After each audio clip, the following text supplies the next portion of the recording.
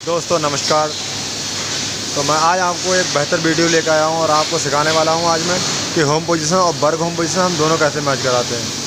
तो दोस्तों, आप लोगों से रिक्वेस्ट है कि आप वीडियो बिल्कुल भी स्किप ना करें और बने रहें वीडियो के अंत तक तो अधूरी जानकारी किसी काम की नहीं होती है। तो चलिए तो दोस्तों, आपका ज़्यादा समय ना लेते हुए करते हैं वीडियो स्टार्ट और जानते हैं होम पोजिशन और बर्ग होम पोजिशन कैसे मैच कराते हैं।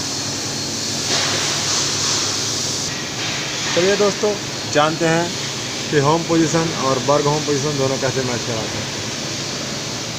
तो दोस्तों, बहुत ही आसान है और बहुत ही ईजी है। क्योंकि मैं जब भी आप लोगों को सिखाता हूँ तो बहुत ही ईजिली तरीके से सिखाता हूँ, ताकि आप लोग सीख सकें। मैं आप लोगों से माफ़ी माँगता हूँ माफ़ी चाहता हूँ कि मैं बहुत दिनों से आप लोगों के लिए वीडियो अपलोड नहीं कर पाया था। तो चलिए दोस्तों, करते हैं वीडियो को स्टार्ट सबसे पहले दोस्तों आपको क्या करना है, हमको जाना है सीधे से सेलेक्ट जॉब में। और यहाँ देख रहे हैं, दोस्तों आपको दिख रहा होगा रोबोट होम अगर हम कभी भी रोबोट को होम कर देते हैं, जैसे इस तरह से मैंने रोबोट होम में है हमारा रोबोट और तब भी अगर हमारा रोबोट कमांड लिया तो हमको क्या करना होता है, सीधे आएँगे हम रोबोट में। तो क्या करना है दोस्तों, सीधे से रोबोट में जाना है, इस तरह से। सीधे से रोबोट में जाना है सेलेक्ट मारना है। और उसके बाद जाना है वर्क होम पोजिशन आपको उसके बाद कुछ इस तरह से इंटरफेस खुलेगा आपका, आप देख सकते हैं। तो दोस्तों, अभी आप जिस पोजीशन में खड़ा है, आपका रोबोट जो आपका होम है, वो इस तरह, ये उसका वैल्यू आ रहा है सारा।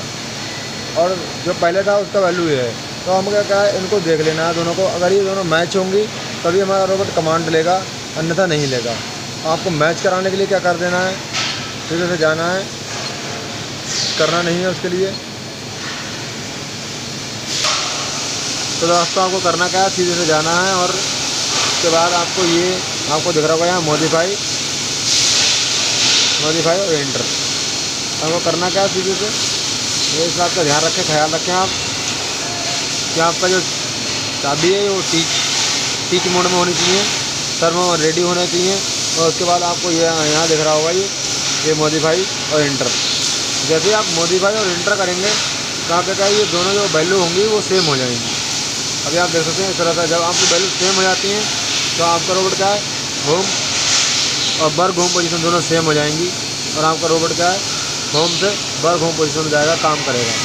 उससे पहले अगर ये वैल्यू दोनों मैच नहीं करती हैं तो सोच लेना कि आपका रोबोट बर्ग होम पोजिशन में नहीं है, आपको मैच करा देना है। अगर नहीं होगा तो आपका रोबोट वर्क नहीं करेगा।